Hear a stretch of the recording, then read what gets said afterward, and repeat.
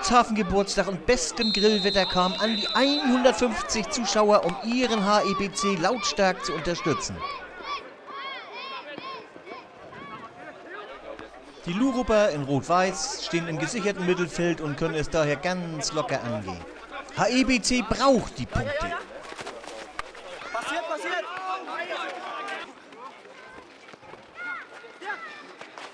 Um das auch dem letzten seiner Mitspieler klarzumachen, meldet sich immer wieder Thorsten Wolgers zu Wort.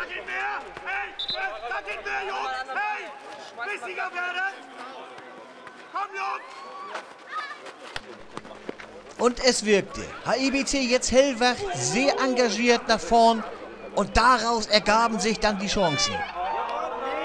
Hier allerdings leichtfertig vergeben.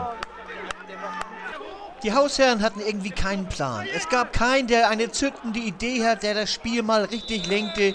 Und so konnte Lurup ab und zu mal einen netten Konter fahren. HEBC ließ den Biss vermissen. Selten wurde mal so dazwischen gegangen.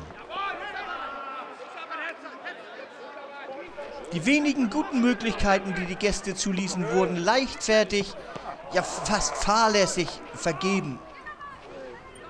Schlecht ausgeführte Standards gaben den Rot-Weißen immer wieder Gelegenheit, bei Kontern ihre Laufwege einzustudieren.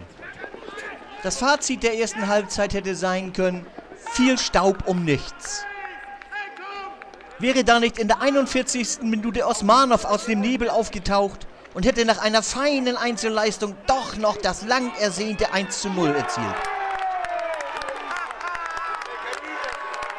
Die Zuschauer natürlich in Feierstimmung und voller Hoffnung für die zweite Halbzeit.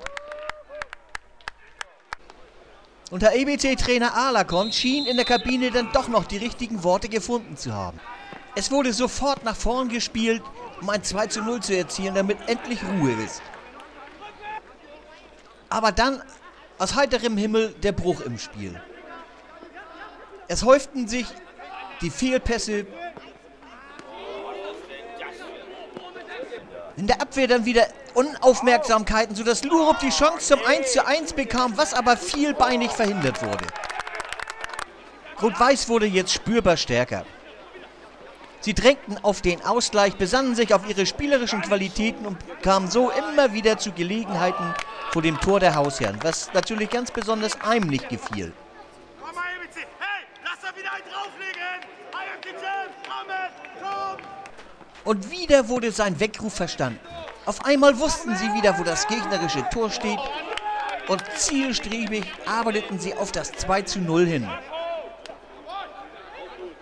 Aber immer noch nicht mit der letzten Konsequenz. HEBC kommt nochmal ins Spiel zurück. Die Standards werden jetzt auch besser gespielt. Und einer ist vorne zu finden, den es hinten nicht mehr hält. Wolgast. Auch in der Zeitlupe ist nicht genau zu erkennen, warum ausgerechnet hier ein Freistoß vorliegen soll. Dafür fiel der Torwart dann doch zu theatralisch. Lurup war jetzt gewarnt und ging wesentlich energischer in die Zweikämpfe. Man wollte unbedingt das 1 zu 1 erzielen. Und gleich wird die Nummer 5, Thorsten Wolgers, zur tragischen Figur dieses Spiels. Der aufwirbelnde Staub trübt den präzisen Blick auf die Situation